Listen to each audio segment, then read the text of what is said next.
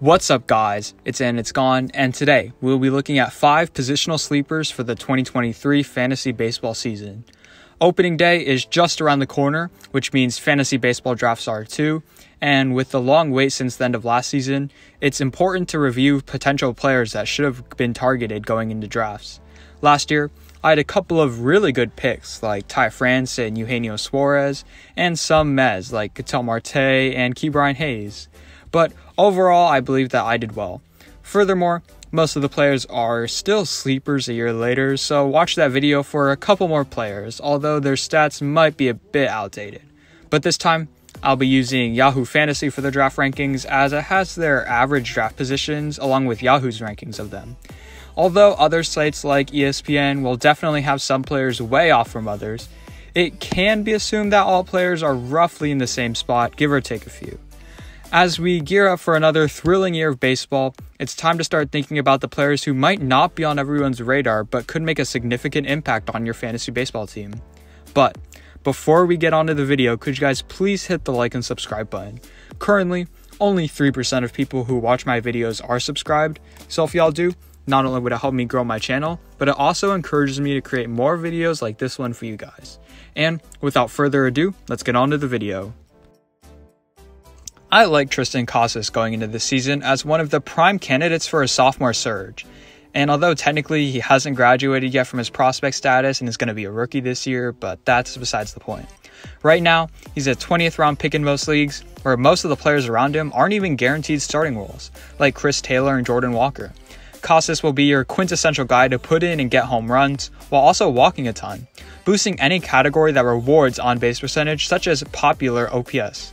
This guy has shown the power throughout his entire minor league career to be a guy who can hit 35 home runs, and given a slight change to his approach that promotes more contact, we can see some Matt Olson type numbers from this guy, even with slightly better plate discipline.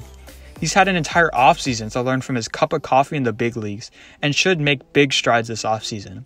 However, currently being a guy who kind of sells out for the home run ball whenever deciding to make contact, he will kill that batting average that you have. This was shown to be the extreme last year, where he hit a 197 but still hit 5 home runs in 72 plate appearances. I believe that the ugly batting average numbers will scare many people off of him, allowing us to swoop in for the high upside play with minimal risk being so low. Down in the 20th rounds and later, power's at a premium, and Triston Casas is your guy. In the hustle and bustle of the offseason, it can be pretty common for signees to go under the radar, especially those that come from overseas markets. While the Boston Red Sox signed Masataka Yoshida to the largest contract ever given to a Japanese position player ever this offseason, and you don't hand out 90 million for a guy who's just going to be a league average hitter. In fact, this Yoshida has legitimate odds to be your AL batting crown while challenging elite players like Paul Goldschmidt and Bryce Harper for the lead in OPS or weighted runs created. He was so good in Japan, with a batting average last year of 336 and an OPS over 1 across 121 Japan games. This is in a league where people deem it to be better than AAA, and for a guy like this, you should be having to spend a 5th to 7th round pick vying for that elite upside while still understanding that many Japanese players struggle with the transition to America. However, you can get them in the 16th round.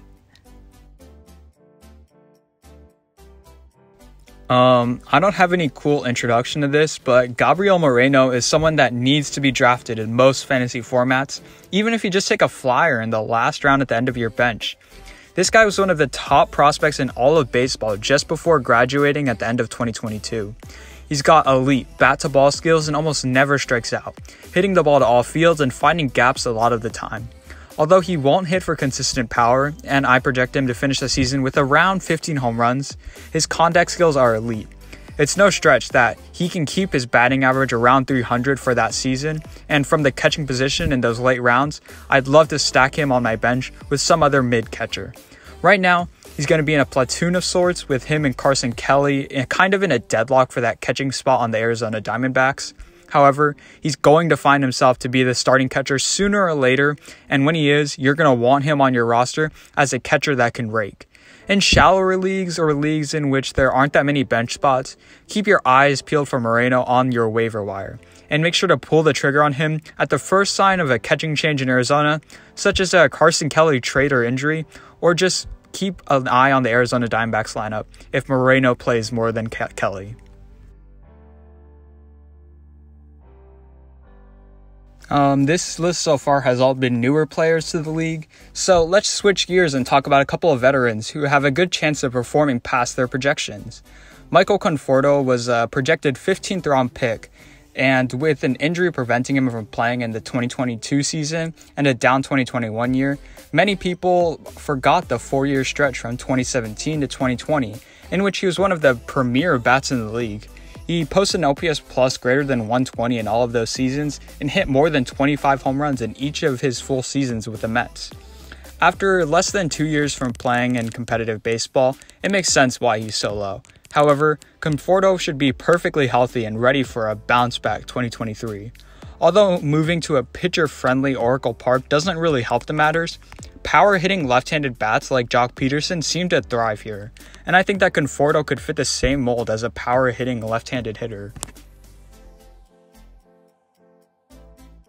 Lastly, we have the biggest steal in many drafts. See, this is why I get you to watch the end, and a popular sleeper among many in Cody Bellinger. Although he fell off a cliff in the 2020 season, he has been steadily climbing back up to be a solid player with the Dodgers. Given that the Dodgers were pressed against attacks this offseason, they chose to cut him. And many people believe that it was because his career was over. There's just too many strikeouts, his launch angle was too high. However, he's still a very good player, at least defensively, and the Cubs made sure to let everyone know that by giving him a one year prove it deal worth $16.5 million. Moving away from a very pitcher friendly stadium in Dodger Stadium to a neutral Wrigley Field should help a little bit to his hitting mechanics, but the real change to Bellinger is going to be the new shift and how it affects his mechanics.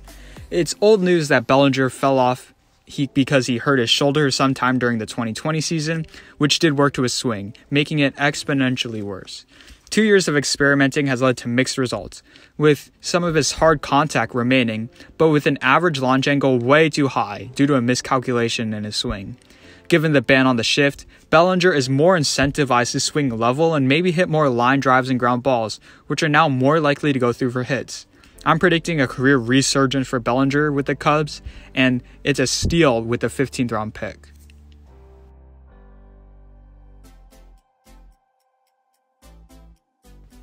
All right. Thank you guys so much for watching. Remember, if you enjoyed, please like, share, and subscribe, and comment down below new video ideas. Also, comment down below if I got it right, did I get it wrong, what players did I miss, or what players do you disagree with. The fantasy pitchers one is coming out soon. And if you guys want to see that one, make sure to subscribe and hit the bell notification down below so you're notified when that one comes out. Should come out tomorrow if you're watching it on the day that this video came out. But and after that, there's going to be some more fantasy content. I'm thinking about making five videos overall. But if you guys have any other ideas about fantasy, I have one on prospects and like positional breakdown. But basically the same thing as last year. But if you have any other ideas, let me know in the comments down below. And I will see you guys in the next one.